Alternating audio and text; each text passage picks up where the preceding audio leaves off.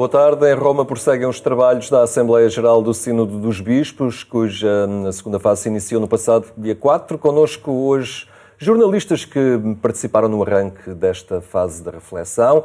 Otávio Carmo, chefe de redação da Agência Eclésia, e Ricardo Perna, jornalista. Obrigado por estarem aqui entre nós. Estão uh, a acabar de regressar, digamos assim, ainda foi há pouco tempo que participaram neste início de trabalhos. Uh, Otávio, uh, desde logo, uma Assembleia com uma composição diferente daquilo que é habitual, não é? Sim, boa tarde. Boa tarde, Ricardo. boa tarde, Henrique. Uh, sim, foi, foi uma.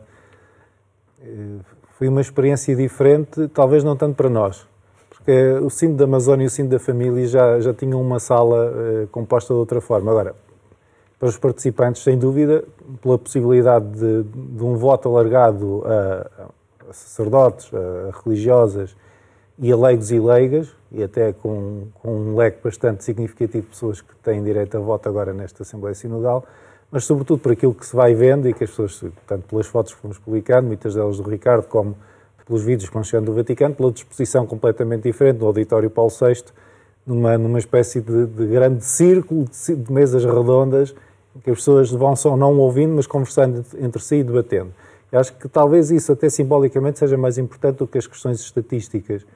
Eh, é um símbolo, efetivamente, em que, em que se passa uma imagem de igreja menos piramidal e em que as pessoas têm de, de aprender o confronto, mas o confronto saudável de ideias, de debate e, e de se colocarem num lugar de escuta quando muitas vezes estão habituadas a falar. Eu acho que isso é uma grande diferença. Ricardo, esta, esta, esta arrumação que estamos aqui a sublinhar e também nesta composição, de alguma forma, identificas em tudo isto uma a preocupação de fidelidade àquilo que, que chegou a Roma, ao fim e ao cabo, e que partiu das comunidades cristãs, de todo este processo de escuta? Boa tarde aos dois. Uh, sim, uh, eu acho que há aqui. Este, este sínodo é nitidamente o, o culminar de um processo que se iniciou aos poucos nos outros sínodos eh, todos eles tiveram pequenas novidades que vieram juntar-se todas nesta, nesta dinâmica sinodal que estamos agora a viver, e, e, essa também era uma grande preocupação, garantir que os trabalhos que foram feitos antes de, de, do Sino iniciar, a nível diocesano, a nível nacional e a nível continental, chegavam depois ao instrumento laboris e aos trabalhos do próprio Sino. E, e efetivamente há aqui esta noção de que aquilo que foi dito pelas pessoas, aquilo que foi falado, aquilo que foi refletido, está a ser debatido dentro da aula sinodal. Eu acho que isto é um fator muito importante e que também encerra alguma novidade.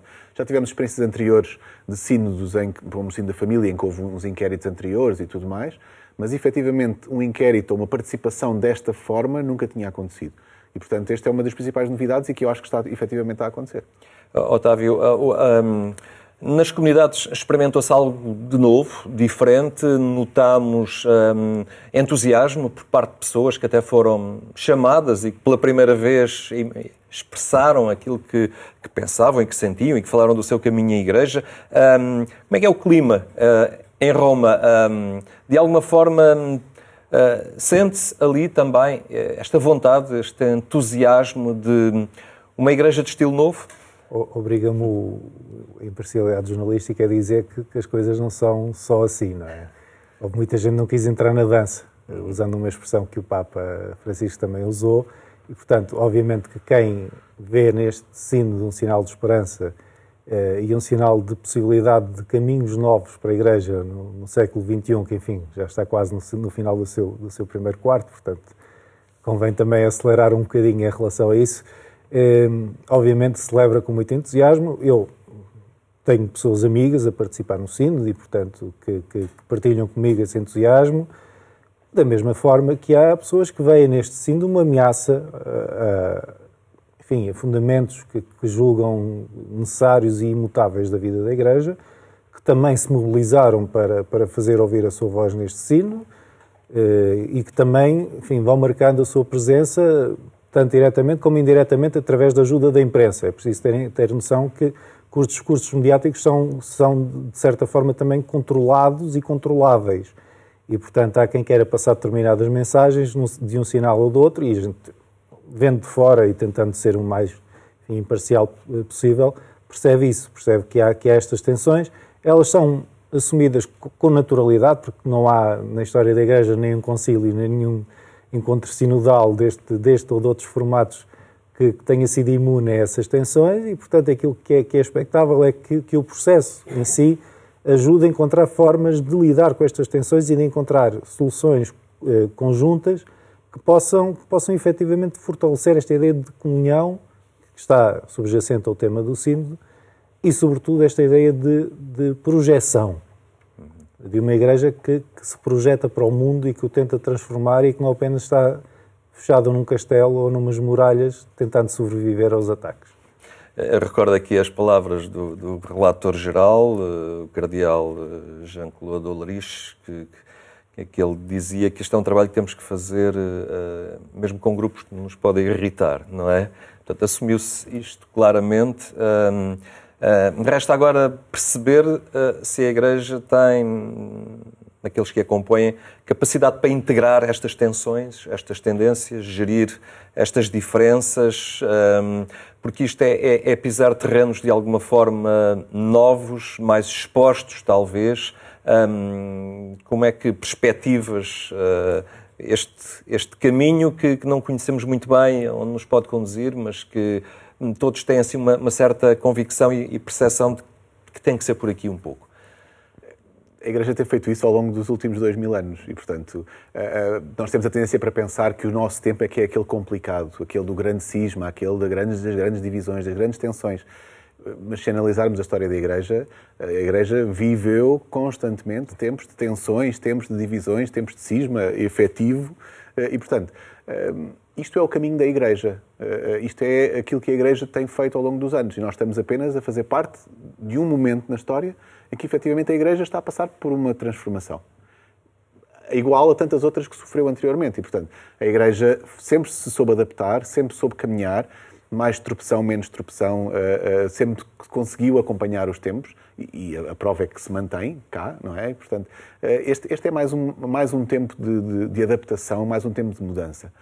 Creio que a mudança será inevitável, como é que essa mudança vai acontecer vai depender muito da gestão dessas tensões, que efetivamente podem dar mais para um lado, mais para o outro, mas é nessas tensões que efetivamente se consegue crescer. Porque se nós tivermos toda a vida a ouvir falar bem daquilo que nós fazemos, não nos apercebemos o que é que podemos melhorar. E, e, e se funciona para as pessoas, funciona para a Igreja também. Mas há, há, há toda uma expectativa criada em torno uh, deste, uh, desta fase dos trabalhos, também na expectativa do, do que sairá no, no, final do Sínodo. Um, em, em, em, experiências anteriores, uh, em que muita coisa transparecia do interior Sim. dos trabalhos, uh, depois acabou por não correr muito bem no final e, e, e houve algumas, alguns recuos. Uh, como é que está a ser gerida, ao fim e ao cabo, esta, o, o, transparecer daquilo que vai sendo por ali refletido, no sentido também de, de, de zelar para que no final o que sair do sínodo possa corresponder também à expectativa que existe por parte das, das bases. Eu, tô, eu, eu, eu, peço desculpa, mas de repente comecei a ouvir a, música da Vanessa da, da Mata Boa Sorte, porque tem, tem a ver com as expectativas irreais e, e a experiência que nos vai dizendo na, no passado é que essas, essas expectativas sobre, sobre alterações muito específicas o que fazem é condensar o discurso mediático em matérias que não são o todo do sínodo. E, e no, por exemplo, o exemplo mais clássico, o sínodo em duas sessões sobre a família.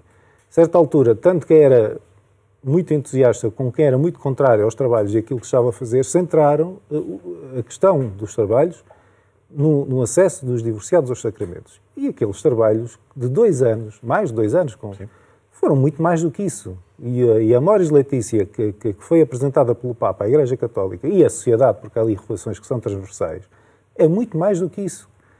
A gente, obviamente, que eu acho que talvez, e o Papa no, no seu discurso inaugural fez este ajuste até num, num, num, discurso que vai diretamente a falar aos jornalistas. Não é aquilo que é discutido mediaticamente fora da, da, da, Assembleia que vai determinar os seus trabalhos. E mais do que isso, nem sequer é esse o seu objetivo. E a verdade é que este cinto sobre a sinodalidade tem, tem um objetivo muito transversal, que é iniciar um processo.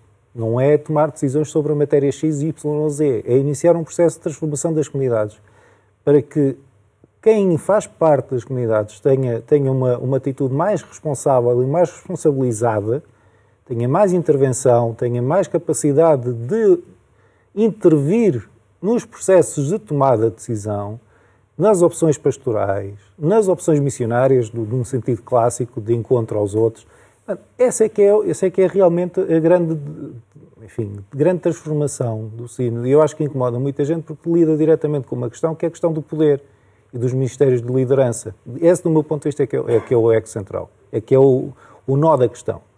Tudo o resto é, é, é, circunstancial, porque há questões que estão a ser debatidas, que eram debatidas há 50 anos e que vão ser debatidas daqui a 50.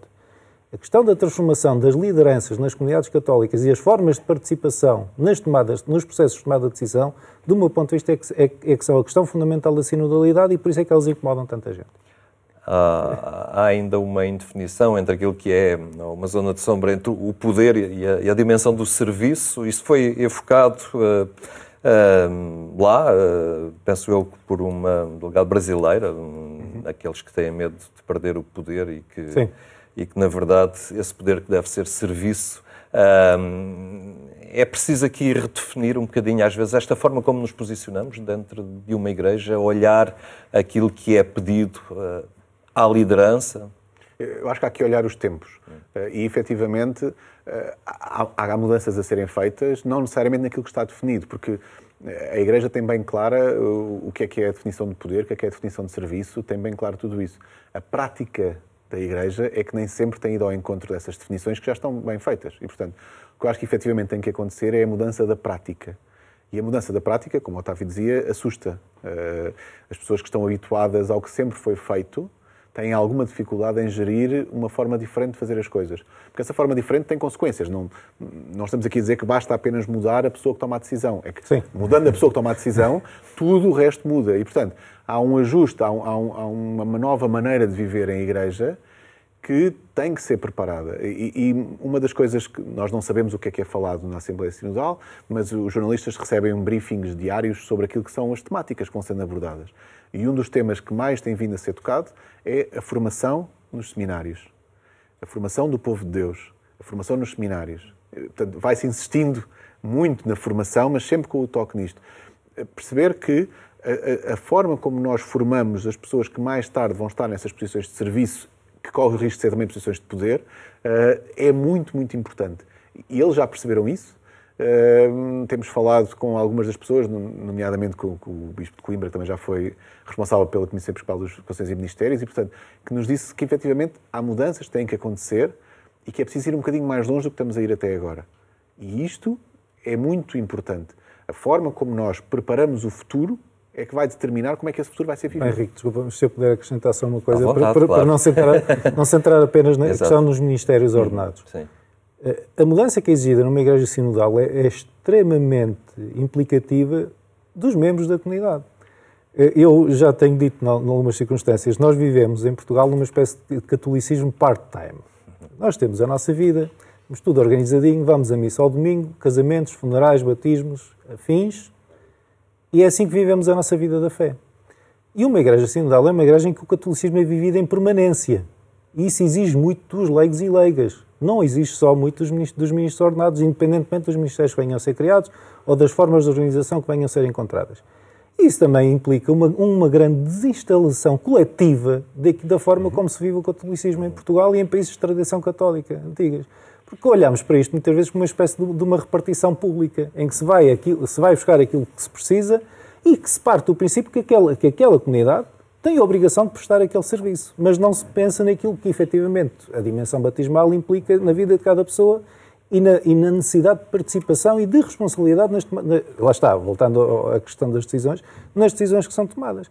Muitas vezes o que é feito é. Há até organismos pastoral eh, consultivos que dizem ah, mas isso a decisão é do pároco. O pároco é que sabe o que é que se tem de fazer. E este, esta alteração também é necessária desde a base. De alguma forma, uh, uh essa novidade foi um bocadinho uh, experimentada na fase inicial da, da auscultação e da reflexão uhum. feita a nível das comunidades. Um, uh, eh, não sei o que é que vos parece agora. Um, as comunidades interromperam o processo, estão à espera de, de, do documento final, uh, ou, ou, ou, por outro lado, é uma dinâmica que que já não, alguns já não querem abandonar e que ganhou, digamos, um impulso e uma dinâmica própria. É importante que, que as comunidades não a percam, ao fim e ao cabo, este tal estilo novo de ser igreja? Mais do que, mais do que o sínodo, ah, já, já, já foi dito por várias pessoas que este sínodo não é um evento, é um processo. E, e esta caminhada sinodal que foi feita antes não, em parte estava ligada ao sínodo, mas em grande parte estava ligada à própria dinâmica das comunidades. A reflexão que foi feita dentro de cada paróquia sobre aquilo que pode estar melhor ou pior na própria paróquia, na própria comunidade, chegarão uh, alguns resquícios ao instrumento laboris que os bispos estão a, a, trabalhar. Mas esta reflexão é muito importante que a própria comunidade, a própria paróquia, pegue nela e avance com essa reflexão para mudar as coisas na sua paróquia, para mudar as coisas na sua comunidade, para transformar os processos no seu local próprio, mesmo enquanto o sino está a decorrer. Eh, as decisões que sairão do Sínodo e que só vão sair daqui a um ano, isto também é importante que as pessoas percebam, que efetivamente, normalmente um Sínodo tem um, uma duração de um mês, a meio do mês há um primeiro relatório de resumo, de síntese, que depois é trabalhado no, no, na segunda metade do mês para depois sair um relatório final que inspira o Papa para escrever algo. Aqui nós acrescentamos um ano neste processo e, portanto, este mês que agora se está a viver em Roma é como se fosse aquela primeira metade e, portanto, vamos chegar ao final do mês e vamos ter um resumo dos trabalhos, uma síntese, mas que nada vai ser vinculatória, nada vai ser votado neste, no sentido de ter uma decisão final. E só no próximo ano é que, este, é que estas decisões, assim lhe podemos chamar, ou conselhos para o Papa, vão ficar mais definidos. Portanto, efetivamente, este tempo de reflexão, este tempo de caminho, tem que ser aproveitado pelas comunidades para iniciarem os seus próprios sínodos paroquiais, eh, diocesanos, no sentido de transformação e de leitura daquilo que foram as reflexões que foram feitas na altura e percepção do caminho que tem que ser percorrido localmente. Depois, quando vierem as indicações do Vaticano para as grandes questões, então aí encaixar-se-á. Mas se até aí as comunidades começarem a mexer-se de uma maneira diferente, já vai ser muito mais fácil que o que venha do Vaticano e que venha de indicação da parte do Papa seja aceito pelas comunidades. Mas, mas respondendo à tua pergunta, do, do, meu ponto de vista, eu acho que, que, a dinâmica sinodal é muito mais fácil de implementação e manutenção em dimensões periféricas do catolicismo do que propriamente em comunidades que estão habituadas a uma pastoral de manutenção. E, portanto, do meu ponto de vista, elas vão ser mantidas mais por pressão das pessoas que querem entrar e que, e que sentiram que tinham direito a ter voz neste processo, propriamente para aquelas que estão habituadas a ser católicas e que estão habituadas a um determinado modo de ser católicas. Mas é que para muitas pessoas essa experiência foi uma reconciliação até e um regresso a uma igreja que eles desejavam e que já não conheciam, não é? E, e, e isso gerou uma dinâmica uh, que me parece uh, pobre, que se perca, não é? Sim, há uma questão fundamental que nós fazemos muitas vezes por, por milhentas coisas ao longo do nosso dia a dia que aqui é preciso responder. E agora? Exato. Porque as pessoas sentiram que efetivamente podiam adentrar numa, num, num, novo relacionamento com a Igreja, mas é preciso ver o que é que, é, o que, é, que, é que as comunidades lhes vão oferecer agora. E essa é uma das grandes, uma das grandes mas das questões centrais, outra vez, de, do sínodo. É, o sínodo não é sobre a sinodalidade. É, o tema pode ser esse. O sínodo é sobre a Igreja e sobre a Igreja do futuro. E o que é que esta Igreja tem para oferecer à sociedade de hoje? Tem o tesouro de sempre, óbvio. Caso contrário, não seria a Igreja Católica. Mas além desse tesouro de sempre, que tipo de relacionamento, que tipo de estrutura, que tipo de acolhimento e que tipo de proposta teológica e espiritual faz ao homem do século XXI ou às mulheres do século XXI? E essa é que é a questão fundamental, obviamente, que, que o Sino vai trabalhar isto a partir de uma, de uma transformação radical desde as bases do, do, do que são as comunidades católicas. Mas sem essa resposta do e agora, acho que tudo isto também é possível que, como tu dizes, se possa perder eh, a longo prazo. E, e há uma questão de tempo também. Claro. Porque, claro. Eh, tal como falávamos da Jornada Mundial da Juventude, também é. este sínodo hum. são oportunidades de dinâmica e de envolvimento. As pessoas chegam, envolvem-se, animam, querem, mas se não são recebidas, acolhidas e, e, e envolvidas no processo, afastam-se. E, e afastam-se, ou seja, já estavam afastadas, se se aproximam e depois são outra vez afastadas pela inércia da, da, da, das comunidades, o afastamento é muito maior e, em alguns casos, pode ser mesmo definitivo. É, é essa palavra, a inércia, é talvez das, das, das, piores coisas, das piores ameaças neste momento à, à, à vida das comunidades? Porque é, é por um motivo. Há, há aquela velha frase que, diz, que, que se diz que é para que o mal triunfe, basta que as pessoas de bem nada façam. Esta questão de inércia é mesmo isto. Não basta uh, ficar à espera de qualquer coisa. Não basta ficarmos à espera daquilo que o Sínodo vai dizer. Uh, qualquer exortação que o Papa Francisco uh, faça depois do Sínodo vai acontecer daqui a ano e meio, dois anos. Este tempo, se, se, as comunidades ficarem à espera durante este tempo todo, todas estas pessoas, todo este envolvimento que surgiu, vai esmorecer, vai desaparecer. Quando tentarem fazer alguma coisa, já, vai, já ninguém vai querer saber. E, portanto, e não poderão dizer, ah, mas nós não fizemos nada para as afastar. Fizeram. Não fizeram nada. Portanto, a inércia acaba também por ser uma ação e acaba por ser uma opção. Não querer, escolher não fazer nada pode ser uma decisão, mas também é uma decisão. E, portanto, não dá para ficar só. Ah, nós ficámos à espera que o Papa dissesse alguma coisa.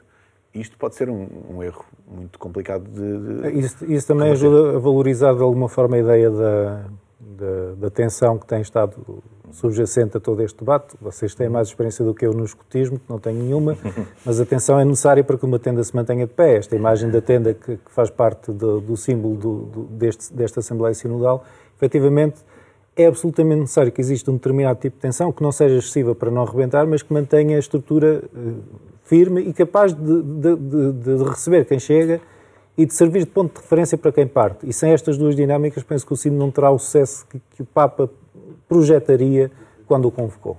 É bom termos os olhos postos em Roma, mas há muito trabalho a fazer sim, sim. desde já Exatamente. a nível é local. Sim, eu acho que essa é a principal. E, e esta, esta imagem que deixámos à aula sinodal para, para, uma, para, uma, para uma sala onde todos estão ao mesmo nível, todos estão a conversar, todos estão a trabalhar e falamos de todos, falamos de cardeais, bispos, presbíteros, leigos. Portanto, é, é, é isto que é pedido à Igreja, é, é que efetivamente perceba que enquanto em Roma se trabalha, também nos comunidades tem que trabalhar, porque a importância do trabalho é a mesma. Não há, não há esta voltamos à questão do poder, não é? Não estamos à espera de indicações superiores. Não, não, não há ninguém superior. Todos estão ao mesmo nível e, portanto, o trabalho no Vaticano é essencial que seja feito, mas o trabalho do Vaticano não vale nada se o trabalho na, na paróquia não for feito. E, e, ao contrário, o trabalho na paróquia pode ser muito bem feito, mas se do Vaticano não vier o trabalho que precisa de ser feito, também não vai resultar em nada. E, portanto, é este caminho em conjunto. Mas é um trabalho que dá trabalho. É um trabalho que dá trabalho. e ainda bem. okay, muito obrigado pela vossa obrigado, partilha Henrique. e presença obrigado. hoje aqui. Um, ficamos por aqui. Um, tenha então uma ótima tarde. Nós voltamos amanhã, à mesma hora.